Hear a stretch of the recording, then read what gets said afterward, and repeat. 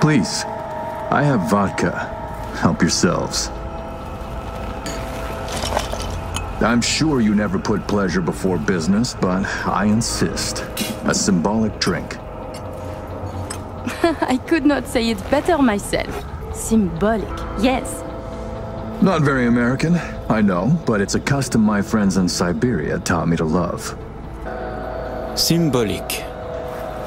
Mm-hmm. Dring dring, hello. To your help.